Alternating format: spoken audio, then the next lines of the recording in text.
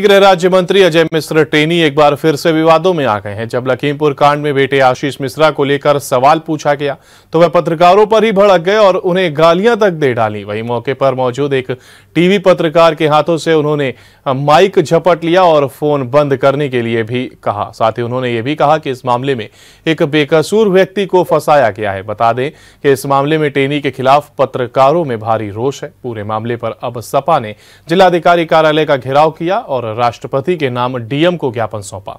सपा ने मांग की कि आरोपी केंद्रीय गृह राज्य मंत्री के खिलाफ मामला दर्ज किया जाए। मामले पर सपा नेताओं ने कहा कि जहाँ संविधान के प्रहरी पत्रकार सुरक्षित नहीं है तो आम जनमानस का क्या हाल होगा? उन्होंने कहा कि सरकार को चाहिए कि केंद्रीय गृह राज्य मंत्री जैसे गरिमामयी पद पर बैठे ऐसे दबंग नेता तुरंत उनके पद से हटा दिया जाए।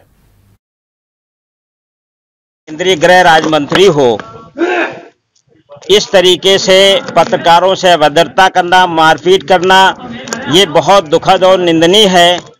जिन पत्रकार साथियों को हम चौथा स्तंभ कहते हैं, जो हर वक्त सजग प्रहरी की तरह चौबीसों घंटे दिन रात, चाहे गर्मी हो, चाहे बरसात हो, चाहे जाड़ा हो, समाज की सेवा के लिए जो लोग हमेशा तत्पर रहते हैं और एक समाज में एक सच लाते हैं, समाज में एक आईना दिखाते हैं, सच्चाई को उजागर करते हैं, उन्हीं पत्रकार भाइयों की आवाज़ दबाने का काम एक केंद्रीय गृह राज्य मंत्री द्वारा जो किया गया है, उनके साथ जो अभद्रता की गई है, दुर्व्यवहार किया गया है, गाली गलौज की गई है, समाजवादी पार्टी और धमकी दी गई है समाजवादी पार्टी इसकी घोर निंदा करती है। देखिए आज हम लोग यहाँ पर ज्ञापन देने आए हैं जिलाधिकारी महोदय को।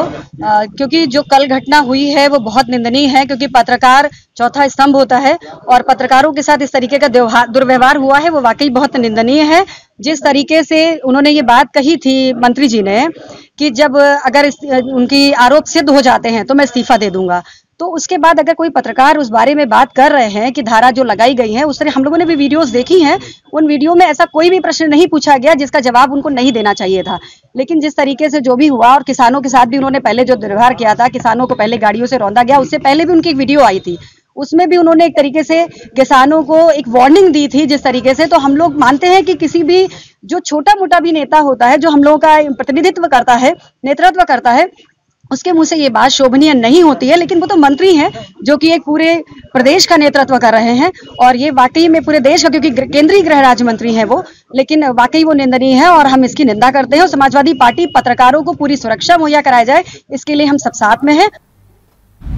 अगर आपको हमारा वीडियो पसंद आया हो तो हमें लाइक करें सब्सक्राइब करें और ज़्यादा से ज़्यादा शेयर करें। और हाँ बेल आइकॉन दबाना ना भूलें, ताकि हर खबर का अपडेट आप तक पहुँचे तुरंत।